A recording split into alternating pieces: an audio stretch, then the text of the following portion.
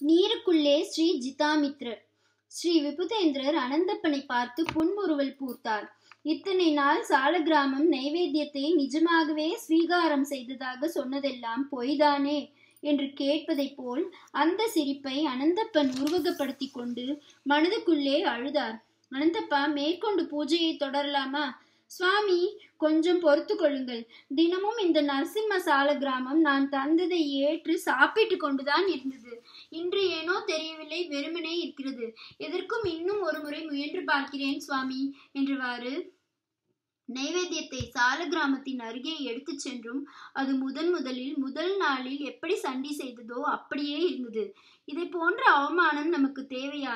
ஸ்ரீ விபுதேந்திரர் என்னை பற்றி என்ன நினைப்பார்? ஆண்டு கணக்கில் நீ உண்டதெல்லாம் பொய்யாகி போனதே.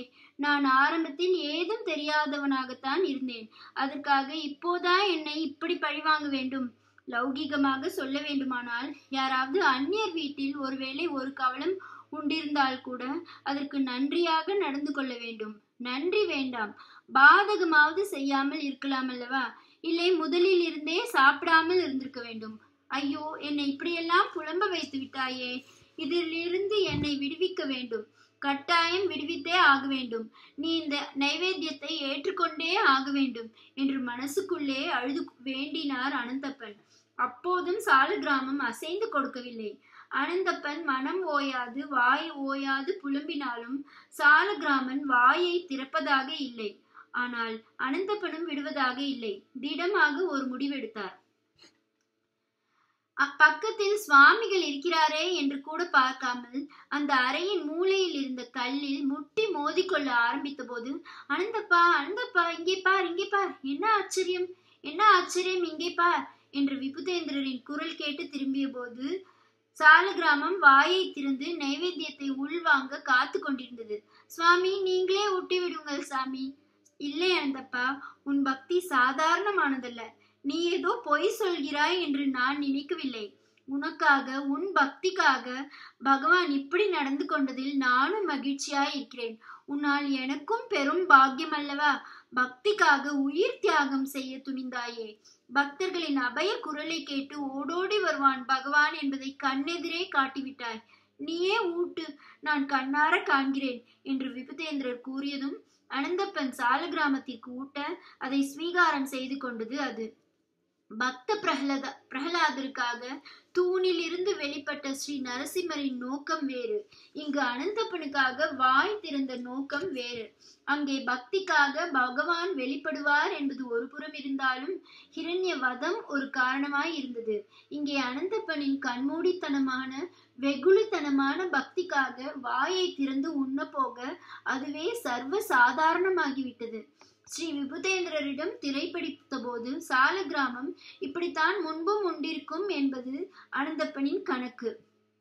சால கிராமங்களில் எத்தனையோ வகைகள் இருந்தாலும் ஸ்ரீ நரசிம்ம சால கிராமத்தை விபுதேந்திரர் தந்ததிலும் ஒரு அர்த்தம் இருந்தது.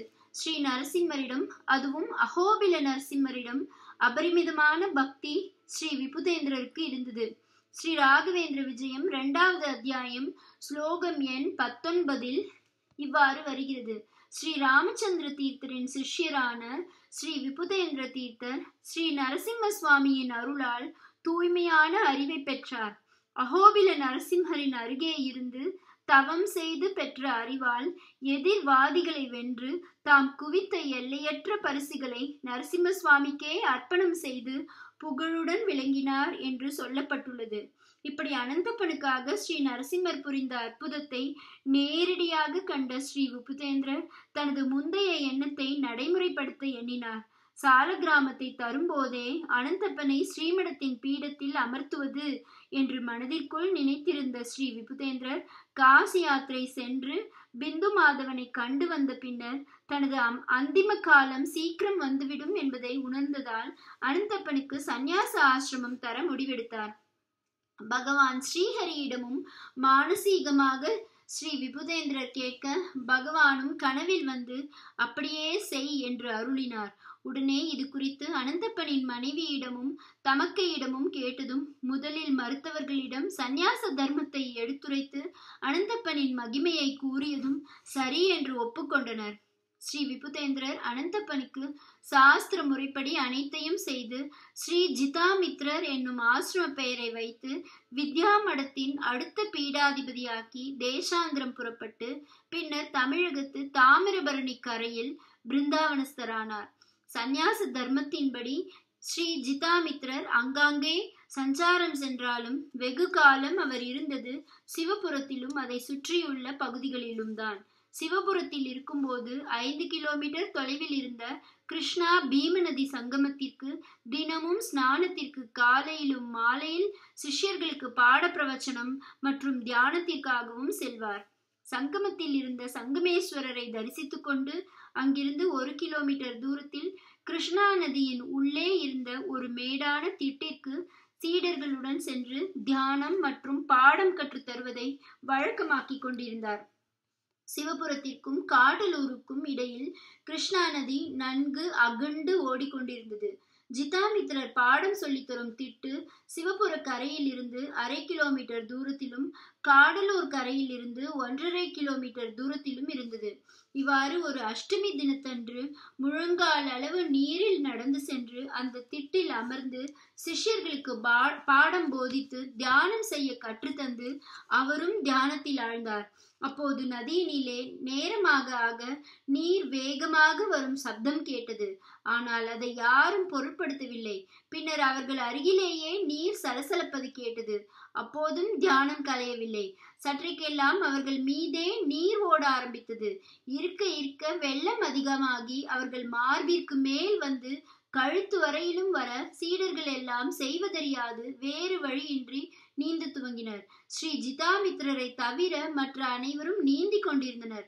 தாங்கள் தப்பிக்கும் போது திரும்பி பார்த்தபோது தங்கள் குரு இருக்கும் இடமே தெரியாது போகும் அளவிற்கு வெள்ளம் வர மேலும் வர சீடர்கள் எல்லாம் எப்படியோ கரையேறிவிட்டனர்.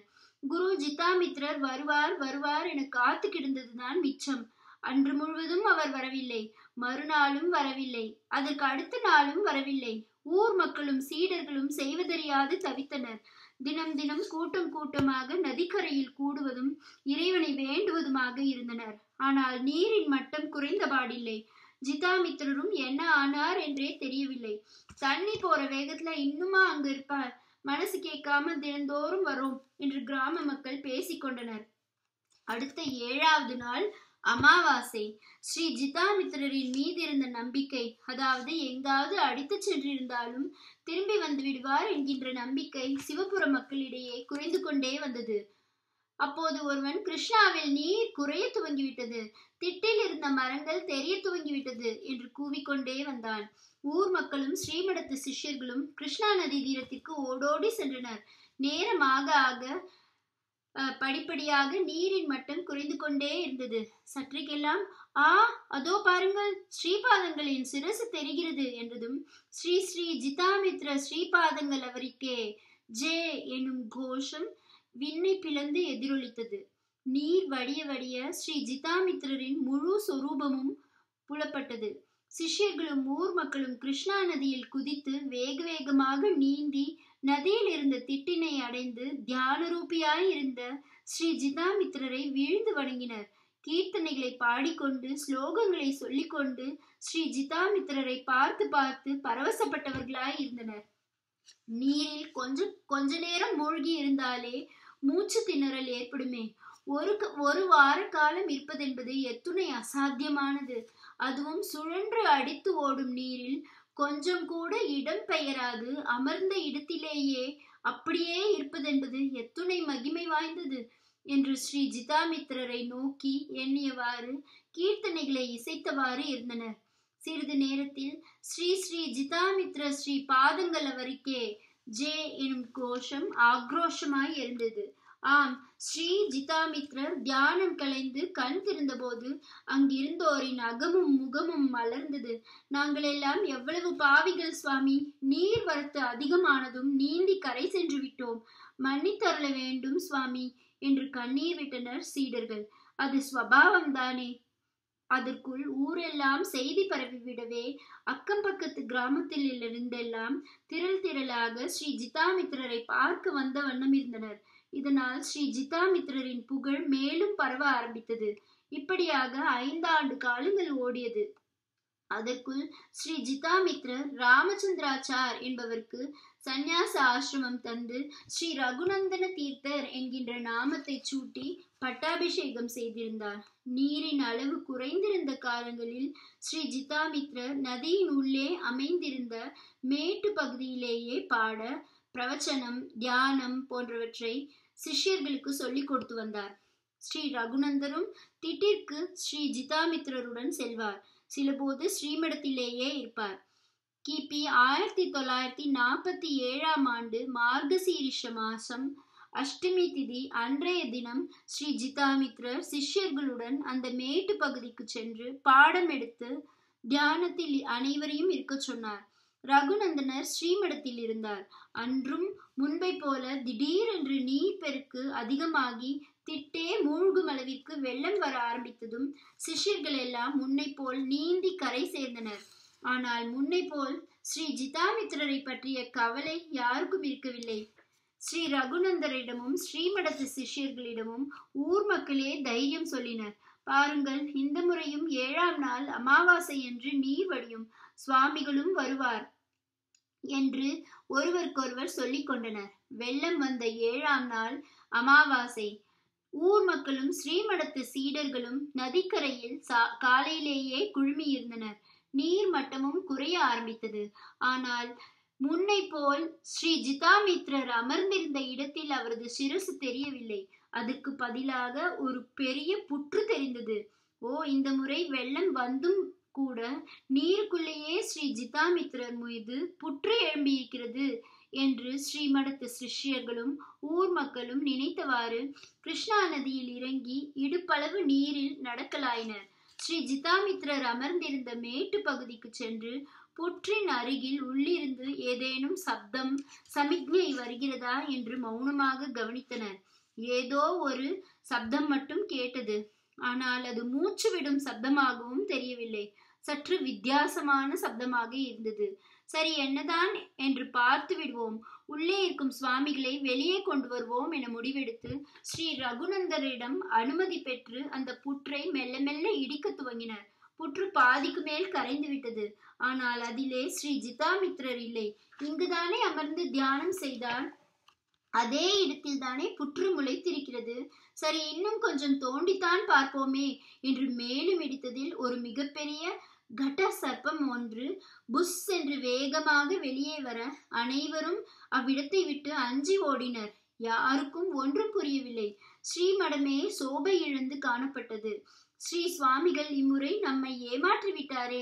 சென்ற முறை பயந்தோம். பத்திரமாக அங்கேயே இருந்தார். அவர் மீது ஒரு நீர் திவலை கூட இல்லை. அவரை சுற்றிதான் அதாவது அவர் மேல் நீர் விழாமல் பக்கவாட்டிலும் மேலும் தான் நீர் ஓடி இருக்கிறது ஆனால் இது இரண்டாம் முறை பொய்யாகி போனதே. சுவாமிகள் மீது புற்று இருந்திருக்கும். உள்ளே சுவாமிகள் இருந்திருப்பார் என்று நினைத்ததும் பொய்யாகிவிட்டதே ஜிதாமித்ரருக்காக ஸ்ரீ நரசிம்ம சால கிராமம் வாயை திறந்து நைவேத்தியத்தை உள்வாங்கிக் கொண்டது போல கிருஷ்ணா நதி ஸ்ரீ ஜிதாமித்ரரை வாய் திறந்து உள்வாங்கிக் கொண்டு விட்டதா? ஸ்ரீமடத்தில் அன்றிரவு யாரும் புசிக்கவில்லை உறங்கவில்லை. அதிகாலையில் கண் அயர்ந்த போது அங்கே ஒரு அற்புதம் நிகழ்ந்தது. இவர்களின் குழப்பங்களுக்கெல்லாம் விடை கிடைத்தது. என்ன விடை? அடுத்த அத்தியாயம் படியுங்கள். விடையும் கிடைக்கும் வியப்பும் மேலோங்கும்.